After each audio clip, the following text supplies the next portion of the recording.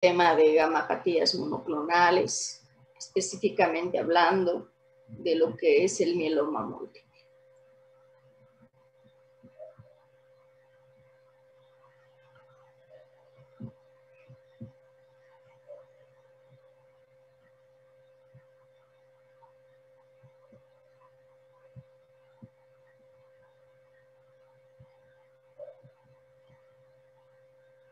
Esta clasificación de Dury Salmon, no tienen que olvidarse, para mieloma múltiple. Esta es la, una clasificación internacional actual ¿no? que se está utilizando. Nos quedamos en formas especiales de mieloma. Hablamos sobre el mieloma no secretor, sobre el mieloma quiescente o indolente, y pues vamos a hablar ahora sobre el mieloma osteoesclerótico. También hablamos sobre el mieloma múltiple de cadenas ligeras de Vence-Jones. Ahora hablaremos sobre el mieloma osteoesclerótico. El, diremos que el dato que caracteriza a este mieloma es la polineuropatía. Obviamente, esto puede asociarse a otras manifestaciones clínicas, constituyendo lo que es el síndrome de Poems. Poems. La anterior vez les dije que era el síndrome de Poems. Quiere decir P de polineuropatía, O de osteoesclerosis, E de endocrinopatía y eh, y dentro de la endocrinopatía puede ser, qué sé yo, diabetes, acromegalia, amenorrea, impotencia, ¿no? Y el M, que vendría a ser el, justamente el componente M que llegan a tener los mielomas, y obviamente las alteraciones cutáneas que vienen a ser S, ¿no? S de skin. ¿Qué son los plasmocitomas? Em, los plasmocitomas eh, localizados, ¿no? Eh, tenemos los plasmocitomas extramedulares, eh, los plasmocitomas extramedulares, doctores, este, o sea, dentro de los plasmocitomas localizados tenemos los plasmocitomas extramedulares. Estos son masas tumorales que pueden aparecer en varios órganos, sobre todo en lo que respecta al tejido linfoide, oro, orolaringeo, o sea, nasofaringe, senos paranasales, son masas tumorales en realidad. Ahora, el plasmocitoma solitario suele afectar específicamente a lo que es el tracto digestivo respiratorio superior, pero también fíjense que puede afectar el hueso, sobre todo a nivel de la columna torácica. Ahora, las leucemias de células plasmáticas, que representan prácticamente el 2% y está definida por más, o sea, mayor o igual a 20% de células plasmáticas, dentro de lo que es la fórmula leucocitaria en sangre periférica. Esta, doctores, la leucemia de células plasmáticas, llega a tener un curso clínico agresivo, ¿no? Entonces, estas son las formas especiales de mieloma. Estas son las formas especiales de mieloma. Eh, bueno pasamos. Obviamente hay, ¿no? O sea, tiene que haber también factores desfavorables eh, que hacen el pronóstico del mieloma, ¿no? Y dentro de estos factores desfavorables tenemos, por ejemplo, la insuficiencia renal, ¿no? Una creatinina mayor a 2 es un factor desfavorable como factor pronóstico en el mieloma. En el mieloma. Em, ustedes saben que el, el pronóstico en sí del mieloma múltiple varía mucho, doctores, de unos enfermos a otros, ¿no? Fíjense que unos gozan de una supervivencia de superior a los 10 años, ¿ya? Eh, sin embargo, la mediana supervivencia, fíjense que antes de los 90, en la década de los 90 era de 3 años, ¿no? Obviamente eso ha variado mucho, ¿no? Porque ahora, eh, pónganse que unos gozan de una supervivencia superior a los 10 años, obviamente otros fallecen a los pocos meses del diagnóstico, pero definitivamente la supervivencia ha variado desde la, desde la década de los 90, ¿no? que prácticamente era de 3 años, pues ahora no lo es. Esa cifra obviamente se ha duplicado gracias esto a la introducción de nuevos fármacos, ¿no? Con mecanismo de acción distinto a lo que era antes solo la quimioterapia convencional, ¿no?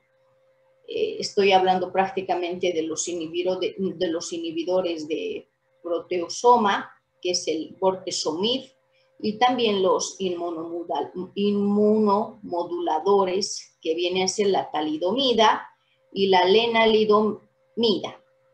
Entonces, estos son los inmunomoduladores, talidomida y lenalidomida, ¿no? Entonces, eh, los, los principales factores adversos, si quieren, al pronóstico del mieloma múltiple, pues justamente son eh, la insuficiencia renal con una creatinina mayor, ¿no? a 2 miligramos de cilitro. La anemia, por ejemplo, el que tenga un paciente una anemia, una hemoglobina menos de 8,5.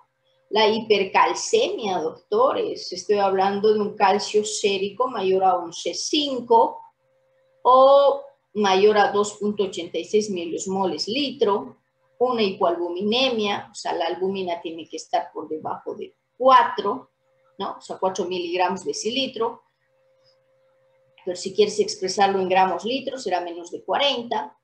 Tenemos la eh, morfología plasmoblástica, perdón, la morfología plasmoblástica,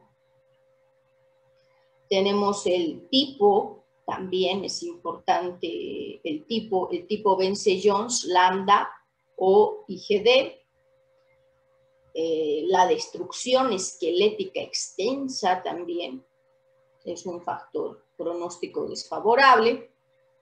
La beta 2 microglobulina sérica mayor a 6 miligramos litro.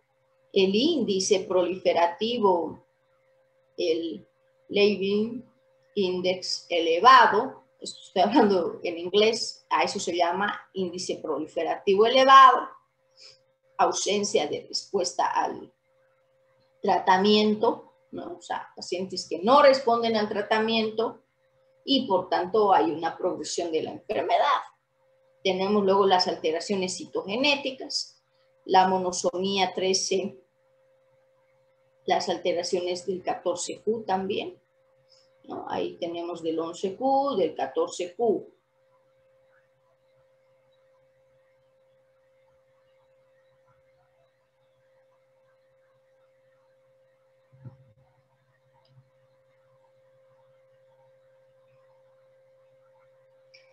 Ahora, em, la supervivencia, doctores, de estos pacientes, ¿no? O sea, disminuye progresivamente desde los enfermos que alcanzan la remisión completa, ¿no? O sea, para conseguir una remisión completa tiene que haber una desaparición del componente M por inmunofijación y de las células plasmáticas en médula ósea a los que solo logran, doctores, una respuesta parcial, ¿no? Porque obviamente la supervivencia está en base a esto, ¿no? A enfermos que alcanzan la remisión completa o, qué sé yo, enfermos que alcanzan una remisión parcial. O sea, fíjense, en, la en, en una respuesta parcial va a haber una disminución del componente M entre el 90 y el 50%. Pero obviamente, si uno habla de una remisión completa, estás hablando de la desaparición del componente M por inmunofijación y también de las células plasmáticas en médula ósea.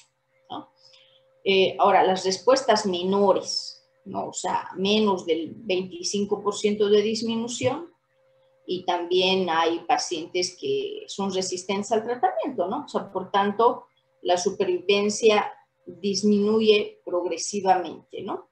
Desde los enfermos que alcanzan la remisión completa, eh, a los que logran solo una respuesta parcial, las respuestas menores y los enfermos prácticamente resistentes al tratamiento. Ahora, los pacientes con mieloma múltiple, ¿ya? Em, pueden pasar, doctores, em, pueden pasar por las distintas fases evolutivas, ¿no? Acá tenemos, por ejemplo, fíjense que tienen que pasar por una fase preclínica, ¿no? Esta fase preclínica, pues, este, eh, puede durar años, ¿ya? Por ejemplo, en la fase sintomática, ¿no? Esto también es muy importante en la fase sintomática.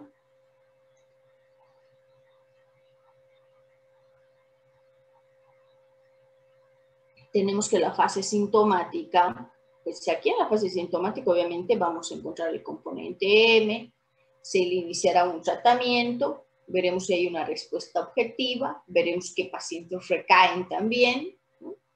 Básicamente la fase sintomática pues llega a durar meses, ¿no? En tanto, en la fase agresiva, fíjense, en la fase agresiva terminal, pues ya encontramos lo que es la pancitopenia, los plasmocitomas extramedulares, ¿no? Y esto puede durar semanas, ¿no? Fíjense que en la fase preclínica tenemos el mieloma quiescente, ¿no? Hemos hablado sobre el mieloma quiescente, dijimos que mm, obviamente tiene un curso clínico menos agresivo, eh, por tanto hay abstención terapéutica y observación, ¿verdad?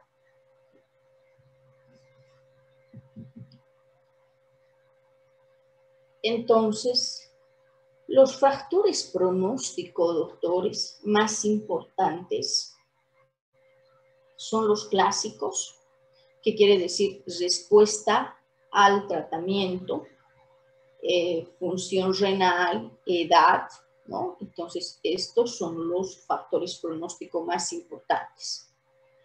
Los nuevos, los nuevos son el nivel de la beta-2 microglobulina y albúmina, la citogenética, o sea, alteración del cromosoma 14 y monosomía del cromosoma 13, también se toma aquí en cuenta entre los nuevos la proliferación de las células plasmáticas.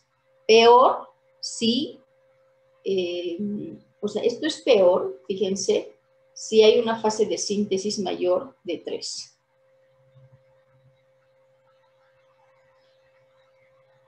Eh, a ver, vamos a hablar ahora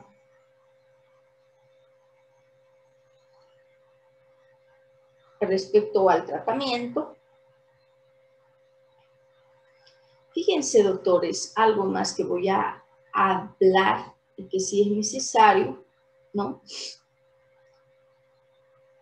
Fíjense que aproximadamente un tercio de los casos, el diagnóstico del mieloma múltiple es casual, ¿no?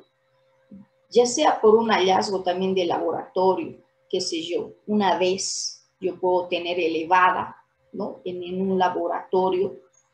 O también me puede llamar la atención unas proteínas elevadas que conducen obviamente a la identificación del componente monoclonal. Y obviamente, posteriormente, ¿no? Eh, y posteriormente, obviamente, se hará la confirmación de la infiltración en médula ósea con más de 10% de células plasmáticas.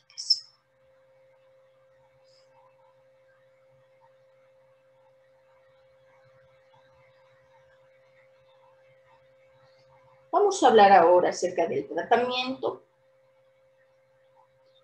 Ya hablamos algo y dijimos que el meloma asintomático o el mieloma quiescente, en estos casos, doctores, es la abstención terapéutica. Nuestra actitud tiene que ser la abstención terapéutica y observación, porque el tratamiento no va a prolongar la supervivencia de estos pacientes.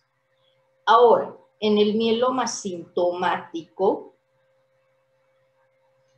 pues fíjense que en el mieloma sintomático el tratamiento debe instaurarse de forma precoz, ¿no? Em,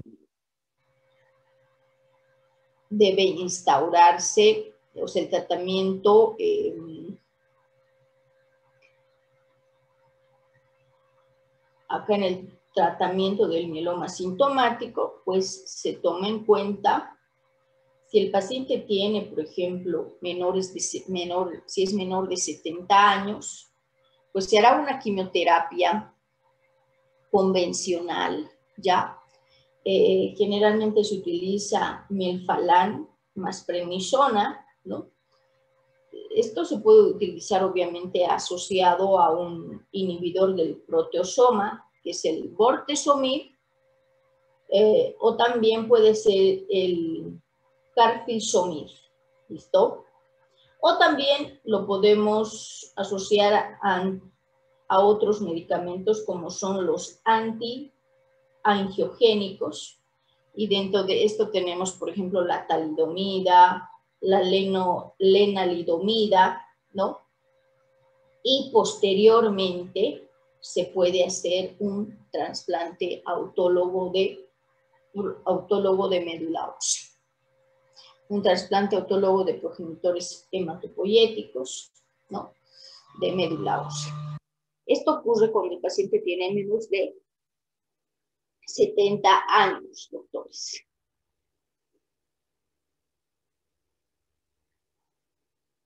Fíjense que la introducción de lo que era el melfalán con prednisona, ¿no? estoy hablando del de la quimioterapia convencional, eh, la proporción de respuestas se situaba alrededor del 50%, con una supervivencia entre 2 y 3 años.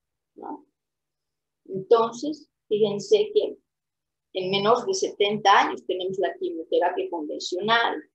Para la quimioterapia convencional puedo utilizar el melfalán más prednisona, puedo esto asociada a inhibidor del proteosoma. O sea, esto lo podemos asociar a bortezomib, carfilzomib, ¿no? O también a antiangiogénicos, como bien es la talidomida, la lenalidomida, ¿no? Y posterior a esto, uno puede decidir hacer el trasplante autólogo de médula ósea. Ahora, ¿qué pasa en los pacientes mayores de 70 años? Fíjense, en los mayores de 70 años, eh, primero decides no hacerles trasplante a estos pacientes, ¿no? Eh, se hace igual, o sea, la pauta de quimioterapia convencional la hacemos igual con melfalán más prednisona, podemos hacerlo con bortezomib o antiangiogénico, o sea, utilizando lo que es la talidomida o la lenalidomida, ¿no? Según la situación del paciente eh, o, las comorbilidades que tenga el paciente, pues también puede llegar a reducirse la dosis de la quimioterapia convencional. Pero definitivamente los mayores de 70 años no se trasplantan. Eh, últimamente, doctores, se está hablando de un nuevo tratamiento, que tengo que mencionarlo, ¿no? Del mieloma múltiple, que es el daratumumab, así se llama, daratumumab. Fíjense que el daratumumab es un anticuerpo monoclonal anti-CD38, ¿ya? Eh, y está probado este medicamento y se puede utilizar como monoterapia para mieloma múltiple refractario a varias líneas de tratamiento, sobre todo a los mielomas refractarios. O sea, uno podría utilizar este nuevo medicamento, el daratumumab, para mielomas refractarios a varias líneas de tratamiento. Como efecto adverso, puedo decir que el daratumumab puede provocar interferencia en los eh, estudios de laboratorio del banco de sangre a la hora cuando uno está realizando pruebas cruzadas, ¿no? Entonces, este sería su principal efecto adverso del daratumumab. A ver, em, dentro del tratamiento de soporte, obviamente en todos los casos, doctores, uno tiene que ir valorando también el tratamiento de soporte, eh, sobre todo para las complicaciones eh, que llegan a cursar estos pacientes, ¿verdad? Para las lesiones óseas, ¿no? Vamos a utilizar lo que es el bifosfonato en forma mensual, puedo utilizar lo que es el soledronato, el pamidronato 9, ¿no? Eh, o también podríamos utilizar radioterapia, doctores, podemos utilizar también radioterapia. Bueno, también se puede hacer un tratamiento quirúrgico, algunas pueden requerir un tratamiento quirúrgico, o también radioterapia, si uno llega a hacer radioterapia, pues en estos pacientes se hará a dosis bajas, sobre todo para reducir el dolor a estos pacientes. Para la hipercalcemia, ¿no? Para la hipercalcemia utilizaremos corticoides, obviamente si hay hipercalcemia ah, es buena una buena hidratación, diuréticos, bifosfonatos. Para las infecciones, obviamente, el tratamiento debe instaurarse de forma activa, eh, aunque no está indicado, o sea, por si acaso no está indicada acá la profilaxis antibiótica, ¿no? Sí, obviamente cuando hay una infección. En caso de la insuficiencia renal, en caso de la insuficiencia renal, obviamente se recomienda la hidratación, eh, se puede utilizar diuréticos, ¿no? E incluso la diálisis en estos pacientes. Aquí les coloco este, nuevos regímenes, regímenes del tratamiento del mieloma múltiple. Fíjense, ¿no? Se utiliza la talidomida más dexametasona, lenalidomida más dexametasona, ¿no? Pomalidomide más dexametasona, bortezomib, melfalan más prednisona, bortezomib, talidomide más dexametasona. Fíjense, son varios esquemas, ¿no? Bortezomib más ciclos, ciclofosfamida, dexametasona, bortezomib, lenalidomide más dexametasona, carfilosomib más ciclofosfamida más dexametasona. ¿no? Y ahí les pongo cómo generalmente hacen estos regímenes, regímenes de tratamiento. Fíjense, hay varias, varios esquemas, ¿no? Puede ser el carfilosomib más ciclofosfamida más dexametasona, el carfilosomib más lenalidomide más dexametasona, el carfilosomib más pomalidomide más dexametasona, eh, ya que aparece, ¿no? El dar, aparece aquí el daratumumab, ¿no? Ahí está, más lenalidomide más dexametasona, el daratumumab, bortezomib y dexametasona. Son varios esquemas de tratamiento, sin lugar a dudas.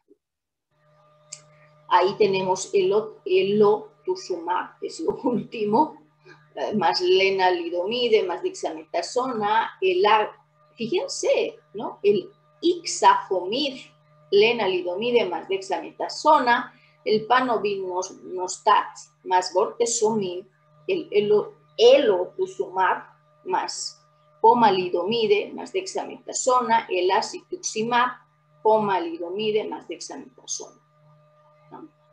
Entonces tenemos varios regímenes de tratamiento y antes de acabar esto, pues eh, eh, quiénes son los enfermos en todo, candidatos al, transporte, al trasplante autogénico, pues tienen que ser los menores de 65 años e incluso hasta los 70 años, obviamente, que tengan un buen estado general,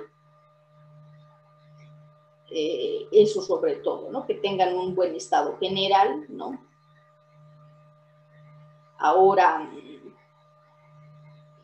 lo que se hace, como les he mencionado, consiste, el, tratamiento actual consiste, por ejemplo, en tres a seis ciclos pueden hacer de inducción, seguidos de consolidación con altas dosis de melfalán, ¿no? Y posteriormente se hace el trasplante de células madre autólogas, eh, esto obtenido de sangre periférica, ¿no? Entonces, en, los enfermos candidatos al trasplante autogénico se hace tratamiento de inducción, no se olviden, se hace el trasplante autogénico, ¿no? Eh, luego se hace lo que es la consolidación y mantenimiento y luego hacemos el trasplante halogénico, no se olviden. En enfermos candidatos, candidatos a trasplante autogénico, lo que se hace es, primero, tratamiento de inducción, que pueden ser tres a seis ciclos, seguidos de lo que es la, eh, la consolidación con altas dosis de melfalán, se hace el trasplante eh, de células madre autólogas, que es prácticamente el trasplante autogénico, eh, y posteriormente puede efectuarse ¿no? el trasplante halogénico. ¿no? Entonces, no se olvide, de hecho, de los enfermos candidatos al trasplante autogénico, tenemos un tratamiento de inducción, un trasplante autogénico, consolidación y mantenimiento y el trasplante halogénico. Y hemos hablado del tratamiento de soporte, ¿no es cierto? Y hemos hablado del tratamiento de soporte. Eh, a ver, em, ahora en enfermos, ¿no? En enfermos eh, Fíjense que en enfermos de, prácticamente pacientes que vendría, cuál vendría a ser el tratamiento, por ejemplo, de las recaídas, ¿no? Y los nuevos fármacos, ¿no? Ante un paciente con recaída, doctores, es importante considerar cinco aspectos. ¿Listo? cinco aspectos en un paciente que está con recaída. El estado general del paciente em, y la capacidad para tolerar, obviamente, nuevos tratamientos. Dos, características de la agresividad también de la recaída. Tres, eficacia de los tratamientos previos. Cuatro, toxicidades de los tratamientos anteriores y cinco, disponibilidad de fármacos alternativos a los ya empleados. Ahora, la primera opción en una recaída, obviamente, sería cambiar eh, la clase de fármaco, ¿no? Si el paciente ha recibido, por ejemplo, un esquema basado en bortezomib, se cambiará a talidomida o lenalidomida o a la inversa, ¿no? Ahora, si la recaída es agresiva, son preferibles combinaciones de tres fármacos, ¿ya? Obviamente en otras situaciones eh, puede ser más, eh, más conservador, ¿no? Y bueno, ya les he indicado los regímenes de tratamiento. Bueno, doctores, esto respecto a lo que son las gamapatías monoclonales. Vamos a empezar ahora linfomas. Vamos a tomar lista enseguida.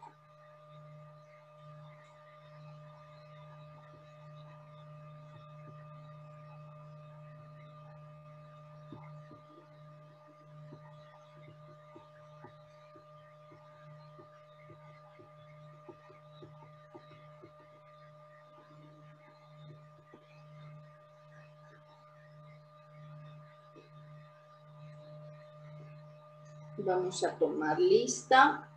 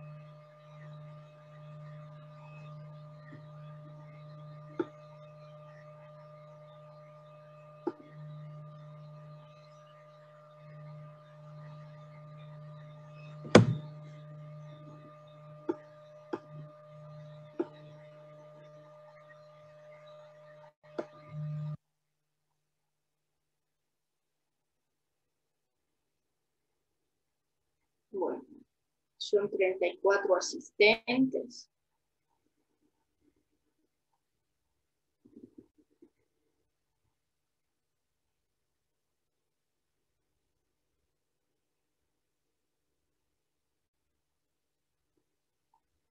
Bueno, vamos a empezar lo que son los linfomas.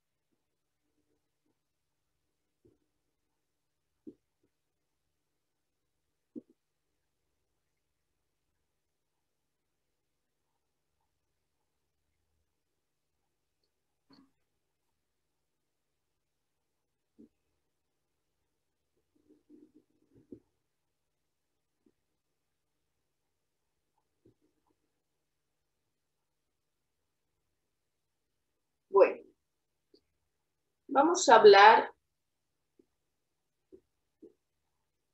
todo lo que respecta a linfomas y diremos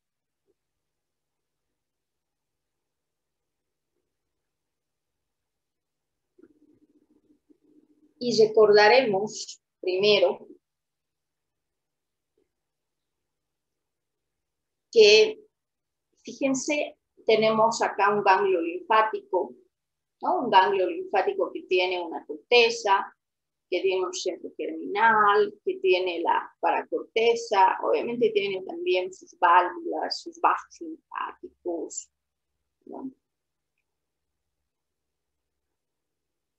Y prácticamente lo vemos así al ganglio linfático. Entonces, diremos, doctores, que los linfomas malignos son neoplasias malignas del sistema linfoide asentadas preferentemente en los ganglios linfáticos. Ojo, ahí les hago una diferencia. Leucemia es la ficción de la médula ósea y sangre periférica. Ustedes saben eso.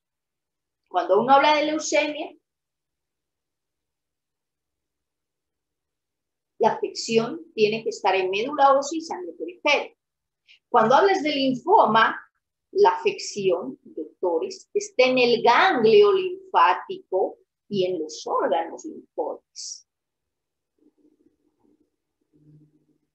Luego de esa ligera introducción, hablaremos ahora sobre el linfoma Hodgkin o enfermedad de Hodgkin y diremos que la enfermedad de Hodgkin, doctores, es un síndrome linfoproliferativo de origen B.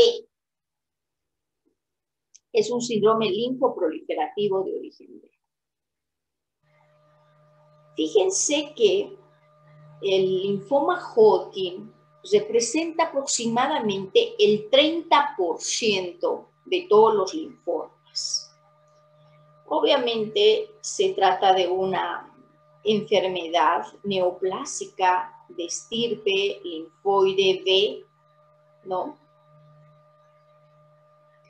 En la, en la que la OMS, obviamente, distingue dos grandes formas, ¿verdad? La variedad clásica del linfoma Hodgkin, que representa el 95% de los casos y que está constituida por cuatro subtipos, y la variedad de predominio linfocítico nodular, que supone el 5% de los casos. ¿Ya? Obviamente las características lo vamos a ir, eh, anatomopatológicas lo vamos a ir viendo de cada una de estas.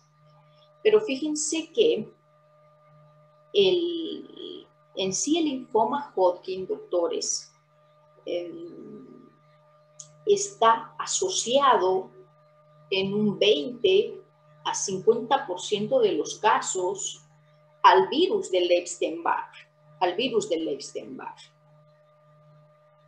Ahora, em, la etiología obviamente del linfoma Hodgkin es desconocida, em, pero como les digo, ciertos agentes infecciosos, particularmente, el virus del Epstein-Barr, o sea, el, que te provoca la mononucleosis infecciosa, pues sí, eh, está prácticamente relacionado o asociado a la enfermedad de Hodgkin. El linfoma Hodgkin presenta una distribución de edad bimodal, por si acaso. Tiene una curva bimodal eh, que prácticamente es, eh, tiene dos picos de incidencia, uno en adultos jóvenes, que sería a los 20, 30 años, y el otro hacia los 60 años, ¿no? Por eso hablamos de una distribución o una incidencia de curva bimodal tiene un ligero predominio en varones. Fíjense que también hay una asociación familiar, hay una asociación familiar. Eh, estamos hablando prácticamente con una incidencia de 1 a 3 casos por 100.000 habitantes año. Aparte de que se asocia también a infecciones eh, por el virus del Epstein-Barr, ¿no? Puede asociarse también a infecciones por el virus del herpes simple, 6, el HIV, ¿no? Pero se habla prácticamente eh, que el linfoma Hodgkin